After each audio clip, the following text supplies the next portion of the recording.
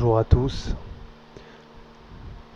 Je vais vous lire un petit texte que j'ai écrit, que j'ai publié sur mon blog, impresson.over-blog.com, et qui s'appelle Une journée sous l'égide du temps est une journée perdue. C'est un texte que j'ai écrit pour réfléchir à la question du temps et vous amener à réfléchir à l'idée que le temps est une catégorie euh, fondamentale de notre univers, mais qu'il y a peut-être au-delà quelque chose qui existe où le temps n'existe pas, justement. Alors j'y vais. Une journée sous l'égide du temps est une journée perdue.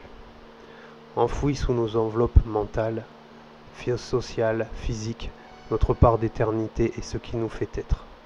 Cette part d'éternité n'est pas inscrite dans les dimensions spatiales et temporelles, ni dans la dimension mentale. C'est elle qui nous fait être et qui nous fait aspirer à toujours mieux, comme c'est elle qui incite les plantes à pousser vers le haut, en contradiction avec les lois physiques. Mais c'est elle que nous cherchons, de gré ou de force, par l'organisation économique et sociale, à enfouir sous les contraintes spatio-temporelles et sociales qui sont régies par une vision du monde matérialiste. C'est en contradiction avec les us de nos anciens, qui étaient guidés par les astres et le son des cloches pour les différents actes de la journée, de la semaine, de l'année et de la vie. Ils échappaient à ce temps froid, rien ne comptait pour la plupart d'entre eux que de se conformer à ce qui est bon pour leur âme. Il faut se lever pour aller au travail, pour aller faire les courses, à l'école, à un rendez-vous. Ainsi chaque jour des milliards de vies sur Terre sont gâchées, la vôtre et celle de vos proches, dans des considérations économiques et professionnelles ou scolaires, sans importance réelle.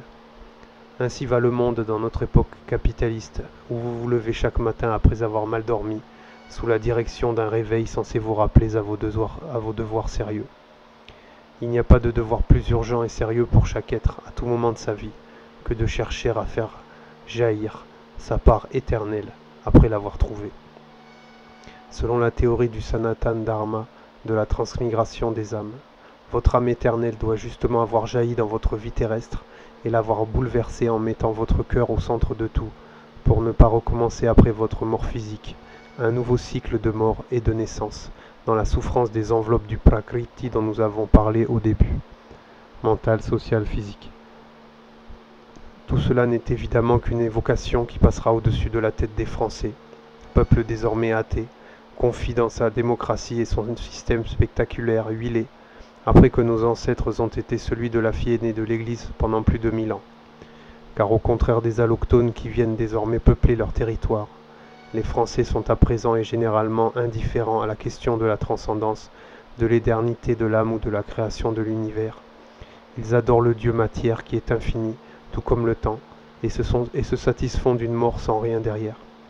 D'ailleurs, ils ne font plus d'enfants, car le système économique que leur bourgeoisie a créé et auquel ils ont dû s'intégrer ne leur laisse ni les moyens économiques de les élever, ni la volonté d'en avoir, et leur donne les outils sociaux et idéologiques pour apprendre à vivre sans.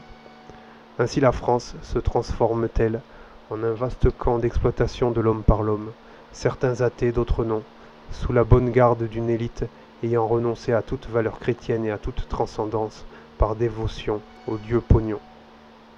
Voilà, c'est la fin du texte. C'était une évocation de notre époque. Évidemment, on peut dire qu'elle est incomplète, imparfaite. C'est un ressenti que j'ai parfois de cette violence de tout détachement vis-à-vis d'une euh, certaine spiritualité, cette acceptation d'un monde uniquement terrestre, uniquement porté par le rationalisme le plus grossier, par les valeurs de l'argent. Un monde qui laisse de côté la plupart euh, des, êtres humains. Donc c'était un cri euh, de colère contre ce monde, en essayant de réfléchir à certaines notions également.